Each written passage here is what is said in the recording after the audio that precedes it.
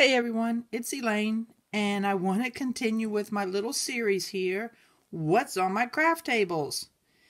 So today, um, I kind of have a, I don't know, I guess a hot mess, but what else is new? So let's just go around here first. Um, I just finished this, um, one of the soft cover journals that I had done. Remember, I had done 20 of them well, when I went to pull them out to do my video um, that shows me finishing them up, I realized that on this one I had not stitched around the edges of it like I had on the rest of them. So I had to pull the old sewing machine out, which thank heavens, I'm going to twist you around here, hopefully without making you sick. I didn't have to go very far since I have my sewing machines lined up right there. So that was one thing. I did just get that finished, so I can pack that away.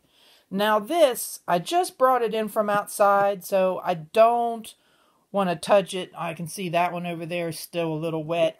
But I will show these to you later um, when they're finished. But they are cabinet door and drawer fronts. They are cabinet samples and I get them at work, and I've probably done about 20 of them. And the inside on these is finished. Um, I put cork on, let me get this right. Okay, so this is the outside, and what you can't see under this one is that's the drawer front, and on that one, that's the drawer front.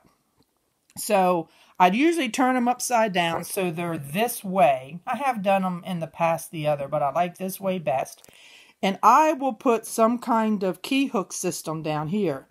Now that's a chalkboard.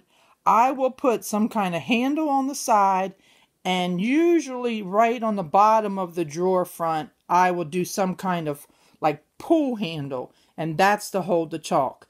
And then on the back of the door front I do cork and then on the inside back panel which is why I like these, they come with like on a frame already.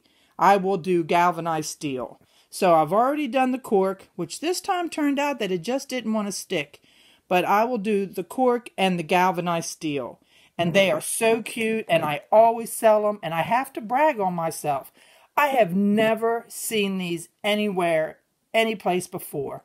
I mean, no other YouTuber, no, not on Pinterest or whatever. When I first did these, it was, I guess, a couple years ago now and um, so, you know, somebody may have copied me, but I have been very proud of myself that I actually had an original idea in this big wide world. Ha ha ha.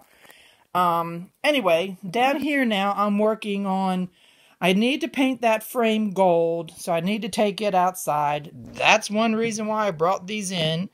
Um, so I need to paint that frame gold, and then I have this big roll of white paper to cover the contents of the frame. And um, a friend of mine is hosting a retreat, and she wants to um, give out the door prizes in deal or no deal style.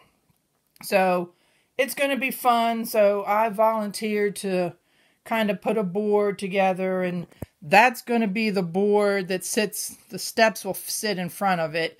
And then this is going to be the board where the prizes are listed for the banker. It's going to be fun. We've had a little back and forth about it. Um, and guess who's going to be Howie? Yep, yep, you got it.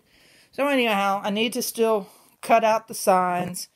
And then I went ahead and pulled out two wallpaper books that have been given to me a long time ago. I always disassemble mine. It's kind of a chore, but I always get it done with some handy little tools. And um and then of course my videoing table has gotten to be a little bit of a mess right now, but hopefully not for very long. And then this, um, I pulled out a journal. I have showed this in the past. It was one that I got at, I think it was Walmart, and I took out pages of it that came out as whole signatures. But what happened then is it left pages in there that were glued together, and they stayed in the book. So it's nice because the book is not too thick then, and I have just about collaged um, on every page. I think I might have two or four pages left. So I'm going to turn that one into an art journal with, you know, stenciling and everything. And then this got started I had some ladies over, and um, one of the ladies was new, and she didn't quite know what to expect and kind of new in all of this.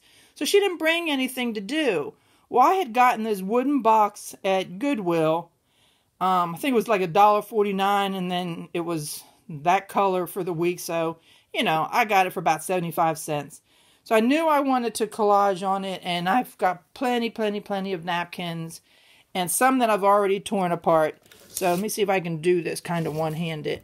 So I asked her if she just would do it. So we just painted it a like kind of a pale pink, or she did it for me, painted a pale pink, and then um, just collaged all around it for me. And so it kind of gave her something to do with us. Um, I'm kind of finishing up some of the spots where she didn't have time to do, and then I'll put little feet on it. And my plan is with that is to take it with me when I go places. And I have a bad habit of like setting my scissors down and then can't find them or things like that. So I thought if I could build some kind of container system where I get in the habit of putting my things back, you know, in a cup or whatever inside of that box. And because the box is wooden, I won't have to worry about denting it or breaking it or whatever, hopefully. So, anyhow, that's what's on my craft tables.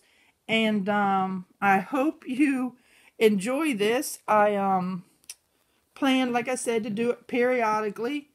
Um, I, I and I probably have said this before too, but I like having all these tables, and when I don't have any friends over, I can kind of spread out and let things dry. I have always been horrible about touching something, seeing if it's dried, and ruining it and having to start over. So this prevents me from doing that. And um, like I said, the I, I, I'm really enjoying it out here. Sometimes it's a little quiet, but that's fine too. So anyhow, I appreciate it. Until the next time when we see what's on my craft tables, I hope everyone stays safe and please behave. And I will catch you in the next video. Bye.